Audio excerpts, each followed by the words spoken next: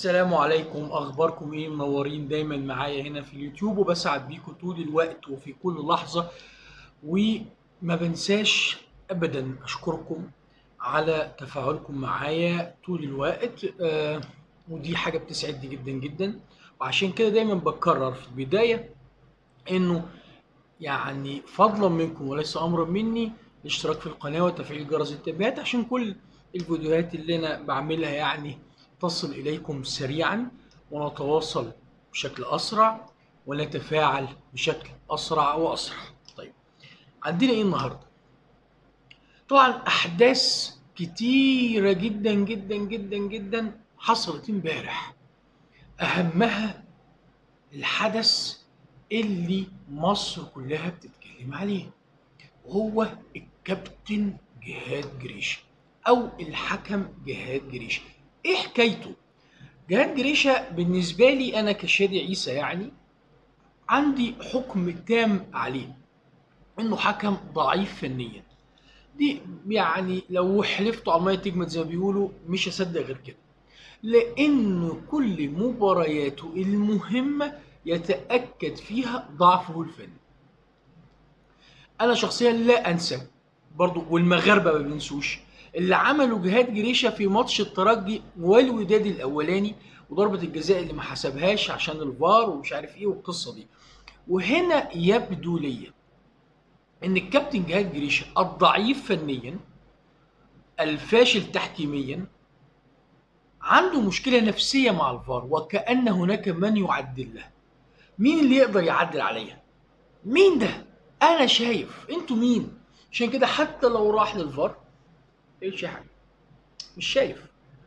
مثلا مباراة الأهلي ووادي دجلة امبارح.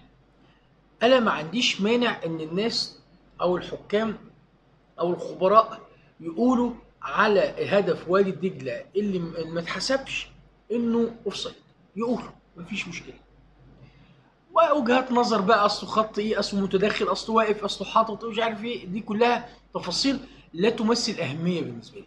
لكن اللي يمثل أهمية بالنسبة لي هو إزاي جهاد جريشه ما يرجعش لتقنية الفيديو في الكوره بتاعه رامي ربيعة اللي هو ضربه بكتفه كتف في كتف ايا كان. في إشكالية ما وانفراد وخلي بالك بقى يطلع أحمد الشناوي يقول لك إن الكورة دي من بره. ممتاز. الكرة اللي من بره دي كان في حد ما بين ربيعة وحارس المرمى غير لاعب مروان لاعب وادي دجلة؟ لا يبقى رامي ربيعة طرد. مش كده ولا إيه؟ منع هدف مباشر. بقى أصله كان بره أصله كان جوه دي قصة. أدي واحد. طرد رامي ربيعة.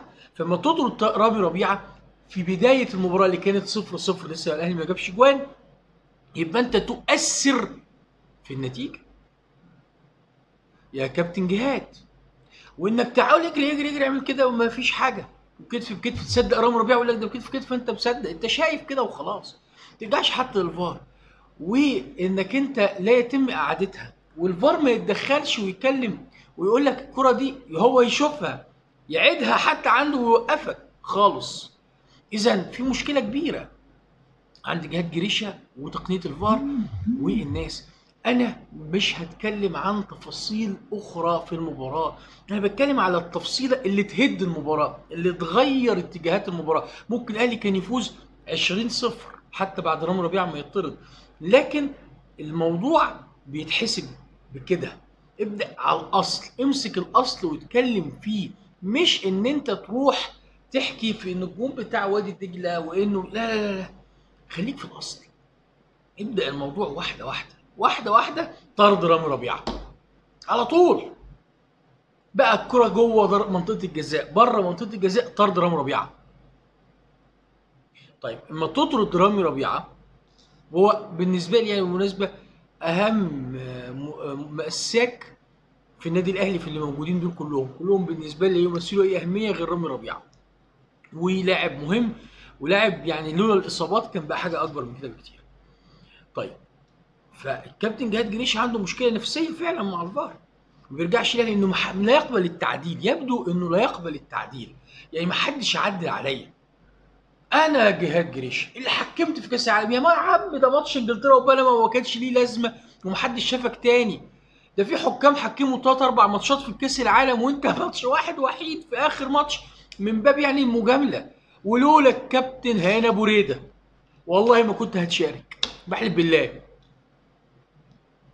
أهو والكابتن هاني أبو ريدة حي يرزق ربنا يديله الصحة والعمر وأنت هو موجود وكل اللي موجودين في الاتحاد. لو حد قال لك إنك شاركت غير بقرار من هاني أبو ريدة وبطلب من هاني أبو ريدة عشان يبقى في مصر كأس عالم لنادي أو سوري منتخب وكمان عندنا حكم. عشان هاني أبو ريدة يبقى عمل لكم كل حاجة. تمام؟ لكن تقول لي مين؟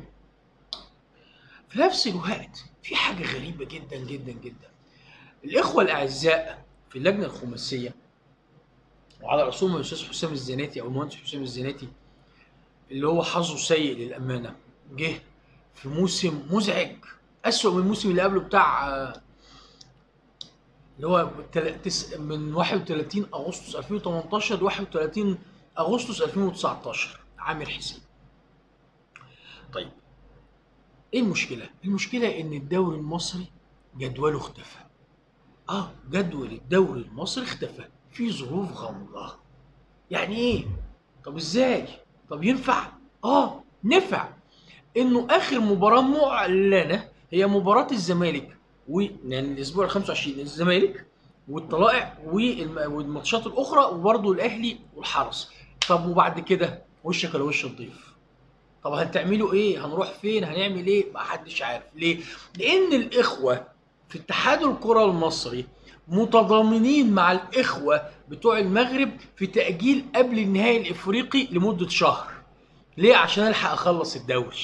ألحق التسع ماتشات اللي باقيين أخدهم ضن ضن ضن ضن ضن هم تسع مباريات أسابيع؟ لا يا فندم مش تسع أسابيع. تسع أسابيع. وثلاث مباريات مؤجلة للمصري ومباراة مؤجلة لوادي FC مصر والإنتاج الحربي. بالإضافة لكأس مصر. الكاس مصر اللي أنتوا أجلتوا اللي الجمعية العمومية وما عرفتوش أصله ما ينفعش ومش عارف إيه ولازم كأس مصر وعشان المشاركين والجمعيه أي كلام لازم تلعب بقى كأس مصر. راجل ما تلعبش كأس مصر. قبل يوم 15 زي ما انت كنت بتقول. انهي الموسم كده من غير كأس مصر. وريني نفسك يا لجنة يا اخو أو وريني نفسك كده خماسيه وانت بتلغي بتلغي كاس مصر. تجرؤي على إلغائه هيبقى في قطع رقاب كاس مصر يتلعب. لأن أنتوا قلتوا إن كاس مصر أساسي في الجمعية العموميه وما تمشوا عشان كاس مصر وبتاع مصر وراح مصر وجه من مصر. المهم إن اختفى الدوري. الجدول الدوري اختفى. مفيش حد عارف الزمالك والأهلي والإسماعيلي وبيراميدز وكل الأندية دي هتلعب يوم إيه. خلاص ينتهي الموسم ينتهي الأسبوع يوم الاثنين 7 سبتمبر. طب وإمتى الماتش اللي بعده؟ طب 10 سبتمبر طب 9 سبتمبر طب 3 سبتمبر طب 2 سبتمبر أي سبتمبر معدي ما حدش يعرف. منتظرين إن الاتحاد الأفريقي يمن عليهم من كده يعني وكرم إنه يلغي لهم أو يأجلهم ياجل لهم نهائي قبل نهائي أفريقيا عشان يقوم نازل بقى في السريع. فوضى فوضى يعني مش هقدر أقول حسب عليها لأنه اللجنه الخماسيه ما حدش بيحاسبها. حتى الاتحاد الدولي لكرة القدم مش بيحاسبها. يمكن كابتن هاني بوريدة بقى اللي جابها يحاسبها. لكن في إطارنا لسه وإحنا شغالين مع اللجنه الخماسيه الأستاذ المهندس الفاضل أحمد مجاهد في تصريح لموقع صدى البلد. قال إيه؟ أنا وجهة نظري إن الصياغة العامة لطيفة اللي هو يا جماعة الاتحاد الدولي لكرة القدم أكد في خطاب رسمي إنه آخر يوم ليكوا 30 نوفمبر ويبقى للمجلس الجديد منتخب. 30 نوفمبر ويكون منتخب. يعني إيه؟ يعني المفروض قبل الانتخابات ال ال 30 نوفمبر أو افترضنا إنك تنتخب يوم 30 نوفمبر قبليها ب 45 يوم لازم تفتح باب الترشيح. في نفس الوقت لازم تعمل قبليه ال 45 يوم دول شهر تاني قبل ما تدعو لجمعيه عمومية أخرى لازم يبقى في شهر لفرق بين الجمعيه العموميه اللي فيها إقرار اللائحة اللي هي محطوطة في الدرج وده. هنا الإنذار. أحمد مجاهد أنذر اللجنة الخماسية وقال لهم الفيفا أو الاتحاد الدولي لكرة القدم لن يقبل بهذا الأمر. ده الإنذار. إنذار واضح وصريح. جهزوا الانتخابات جهزوا اللائحة بتاعت الجمعيه العمومية واعرضوها على الجمعيه العمومية عشان تتنيل تتقبل أو تترفض. واعملوا بعديها انتخابات. هو ده الموضوع نجا خماسية. لا عارفة تجيب جدول الدوري تخلصه ولا عارفة تعمل ال- ال- ال- الجمعيه العمومية بتاعت اللائحة ولا هتعرف تعمل الجمعيه العمومية بتاعت الانتخابات. انت واضح إن هم عاوزين مش عاوزين يمشوا.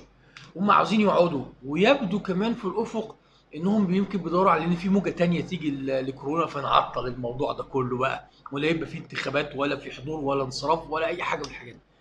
حاجة مش مفهومة جدا جدا جدا. طيب. أنا النهارده هتكلم في الزبد في الوسط. مش هستنى في الآخر. طول الوقت بتكلم حاجات كده لطيفة اللي بحبها في الآخر. لكن أنا هتكلم عن دلوقتي عن الكابتن سيد حفيظ. بصراحة الكابتن سيد حفيظ عنده مشكلة كبيرة وأنا قلتها كتير وبعض الناس يقولوا أنت متجاهل يعني يعني متعمد إنك تاخد موقف ضد سيد عبد الحفيظ وإن سيد عبد الحفيظ عامل لك مشكلة. وأنا مش عارف أنا مش عامل مشكلة. أنا يمكن الوحيد اللي مهتم بفكرة إن مدير الكورة يبقى راجل يقبل أن يكون ينفع يكون مدير كورة. سيد عبد الحفيظ لو حلفتوه عمال تجمد ما ينفع مدير كورة. ويعني قصصه وحكاياته في مدير الكورة وفشل في مدير الكورة فوق الخيال والوصف. وأخرها كهرباء ويطلع هو في قناة الأهلي أو مع مراسل النادي الأهلي ايا كانت الصياغة اللي مش فارق معايا ويتكلم عن نادي الزمالك ورئيس نادي الزمالك ومش عارف إيه ويعمل ما يشبه التحفيل. طيب هو رئيس نادي الزمالك أكيد هيرد عليك يعني ما تسمع من خيار زي ما بيقولوا. لكن هو دي مهمتك. في النادي الأهلي. والله العظيم ثلاثة لو مهمتك في النادي الأهلي أوفر فلوسك وفر فلوسك 50% على الأقل من المرتب وخلوه يبقى يقعد ضيف في القناة كل مباراة. ويطلع هيقول كلام حلو وهيضحك الجمهور والذباب الإلكتروني يتجمع على الكلام ده. طبعا أنتوا عارفين الذباب بيتجمع على إيه. فده كلام عشان كده بيقال عليها الذباب الإلكتروني. يعني إيه يتجمع على كلام يعني مش عاوز أوصفه. كفاية أنتوا عارفينه. فالذباب الإلكتروني للنادي الأهلي أو لكتائب النادي الأهلي على السوشيال ميديا بتتج... بتتجمع على كلام سيد عبد الحفيظ. اللي بيسموه تحفيل؟ اللي يسموه مش عارف إيه؟ الحمراء الخضراء السمراء الخضراء اللبني اللي ايا كانت الصياغة. تمام؟ مش فكرة كده. فكرة إنه هل يليق بمدير الكورة في النادي الأهلي اللي هو النادي الأهلي مش أنا اللي بقول المنصب الذي خرج منه صالح سليم وحسن حمدي وطارق سليم شو وكابتن الله يرحمه ثابت البطل يرحمهم جميعا ما عدا حسن حمدي يعني. ربنا يديله الصحة والعمر يا سيدي. مش دول؟ يقول لك الكابتن اللي بيبقى إشارة إنه سيكون رئيسا للنادي الأهلي. مش هو ده؟ ده سبب حفيظ رئيس النادي الأهلي. اللي هيبقى ممكن يبقى رئيس النادي الأهلي باعتباره كمدير كورة يعني زي كبابرة عبده صالح سوري آه صالح سليم وحسن حمدي وعد ثابت البطل. إيه بقى؟ هل ده يليق؟ لا يليق. والله شوف أنا زملكاوي معروف عني زملكاويتي. لكن هذا لا يعني ابدا إن أنا ما أقولش اللي أنا شايفه صح. دي وجهة نظري. ممكن ما تعجبكش. احتمال ربما وجائز تعجبك. وأنا بقول لك إن في كتير جدا جدا من الأهلاوية مش عاجبهم اللي بيعملوا سيد حفيظ ومنتمين لقناة الأهلي وللنادي الاهلي ويعلنون يعلنون المحبة الشديدة للنادي الأهلي. ومع ذلك رافضين أسلوب سيد حفيظ. رافضين أسلوب سيد حفيظ. ليه؟ لأن هم فاهمين يعني إيه مدير كورة بشكل عام في الأهلي أو في غيره. إنك تدافع عن فريقك صحيح. طيب لو في نادي بينافسك وبيهاجمك يبقى عندك بقى محللين صحفيين يطلعوا يتكلموا ويدافعوا عنك في قناتك. ورغم إن ده كابتن أحمد شوبير مش مخلي أصلا قناة الأهلي ليها قيمة. يعني الكابتن أحمد شوبير يا جماعة أنهى قيمة النادي الأهلي وق... سوري أنهى قيمة قناة النادي الأهلي. لأنه أي حاجة عاوز تعرفها من الأهلي روح للشوبير موقف مع تلاقي الكابتن أحمد شوبير هو اللي مع الأهلي. موقف لصالح النادي الأهلي هتلاقي الكابتن شوبير. موقف لمهاجمة المنافسين النادي الأهلي هتلاقي الكابتن شوبير. ليه تتعب نفسك وتروح لقناة الأهلي؟ ما الكابتن شوبير موجود أربع أيام في الأسبوع بيبهدل لك الدنيا ويعمل لك اللي أنت عايزه يا نجم. وجمهور الأهلي اللي كان ما بيحبش كابتن أحمد شوبير 50% منه كانش يحبه. دلوقتي تقريبا 100% بيحبوه. ليه؟ لأنه بيحفل على الزمالك وعلى المنافسين ويقول إيه ويعمل إيه. حد سأل نفسه ليه؟ وأنا مش مهتم أسأل. وكان على جمهور الأهلي. فالكابتن صلاح حفيظ أهان منصبه. والذي يوافق على إهانة منصب مدير الكورة يوم ورا التاني ورا التالت الكابتن محمود الخطيب. تقولوا يمين تقولوا شمال هو كده. دي إدارة الكابتن محمود الخطيب. الكابتن محمود الخطيب إدارته كده. هي دي إدارته. وده أسلوبه. سيبكم انه ما بيتكلمش وإنه مبتسم وهادئ. لكن ده الكابتن محمود الخطيب. دي إدارة الكابتن محمود الخطيب. إنه يطلع ناس غيره يتكلموا. لا يواجه ولن يواجه. لم ولن يواجه لكن يخرج أستاذ حفيظ يتكلم ويتوه ويعمل الحوار اللي عمله أستاذ حفيظ امبارح ده للتتويه عن موضوع كهرباء والفشل الفاز الرائع بصراحة في ملف كهرباء في التعاون مع ملف كهرباء ليه بقول ملف رائع؟ لأن أنا ده كلامي قلت إن كهرباء مش هينصلح حاله وده طبعه وتطبعه. تمام؟ كابتن حفيظ اهان منصب مدير الكورة. اللي مش شايف كده من الأهلاوية يبقى محتاج مش يلبس نظارة محتاج يغير مبادئه في الدنيا وأفكاره في الحياة. لو كان رجل سوي لا يبقى الناحيه التانيه لو راجل كان راجل سيء يبقى يبقى سوي. فهي دي الفكرة. الكابتن سيد حفيظ مهتم بالتحفيل عشان الذباب الإلكتروني يتجمع على كلامه يقف على كلامه. وانتوا عارفين الذباب بيقف يعمل إيه؟ بالبي مهم. إيه تاني؟ في نفس الوقت وفي خضم الزحمة دي الزملكاوية.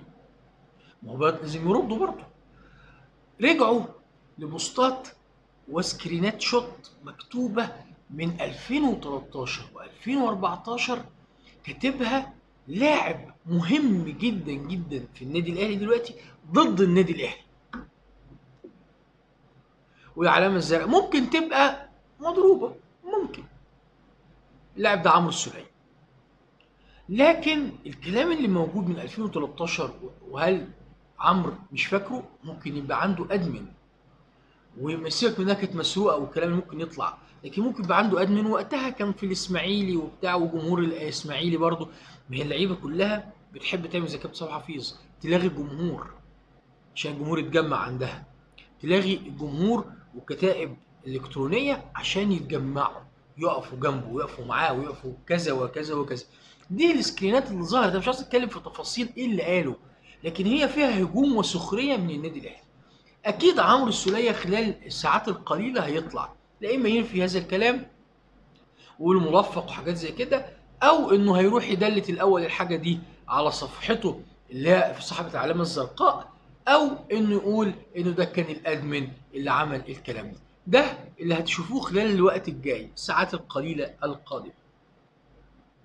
هاجي لموضوعين.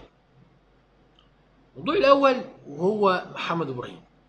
محمد إبراهيم لاعب نادي الزمالك السابق والمقصه الحالي مصر المقصه الحالي.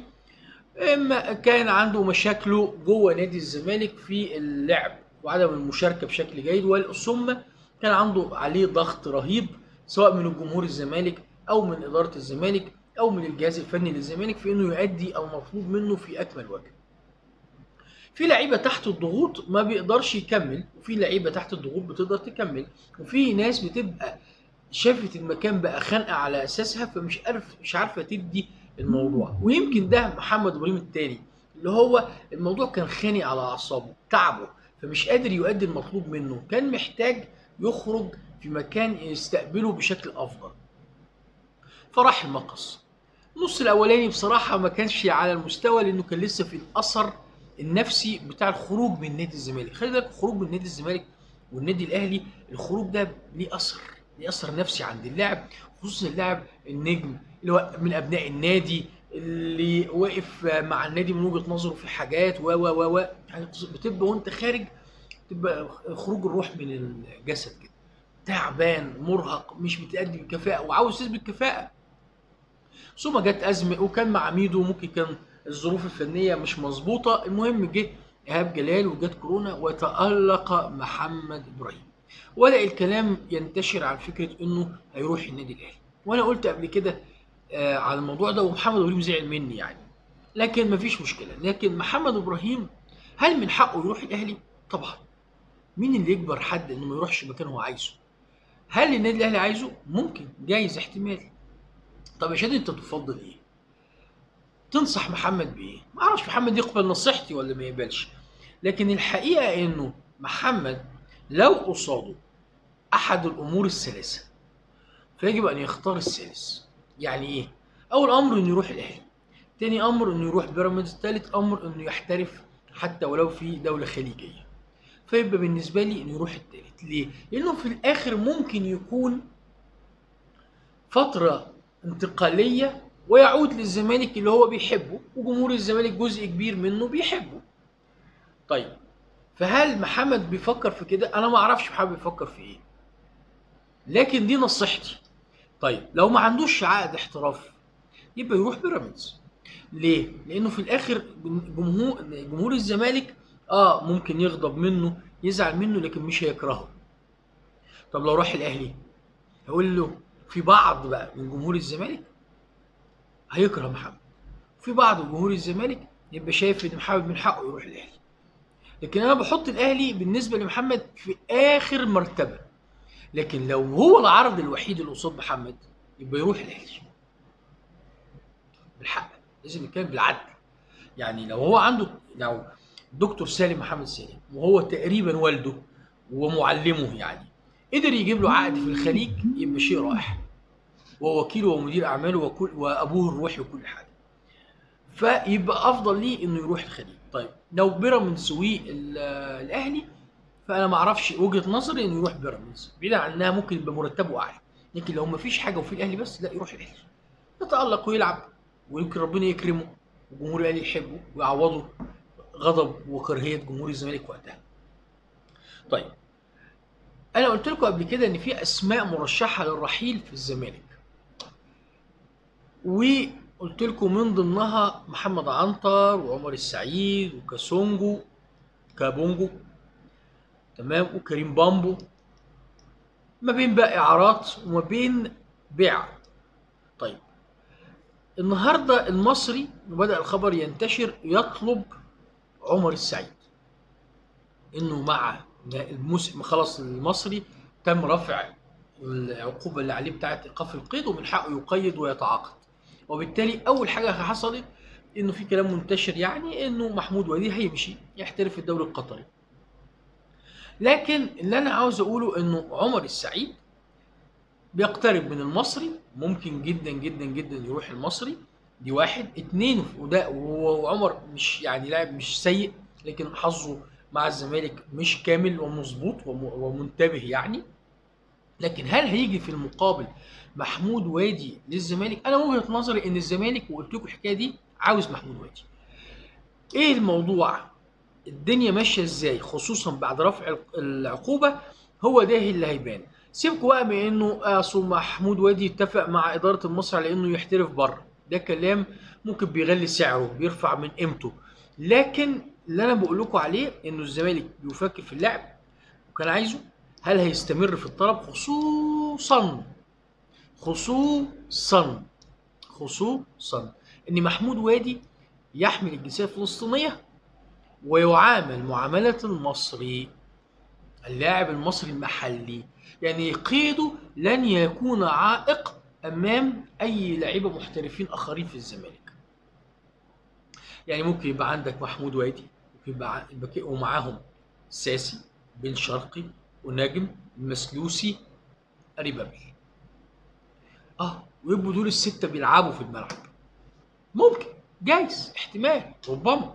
لكن محمود وادي موجود على رادار الزمالك وقلت لكم البرج موجود على رادار كارتيرون وعمر السعيد بالطلب بتاع المصري ده أو تفكير المصري في عمر السعيد يقرب محمود وادي للزمالك. ده في حالة إن الزمالك بالفعل كان لسه متمسك بتواجد محمود وادي في النادي.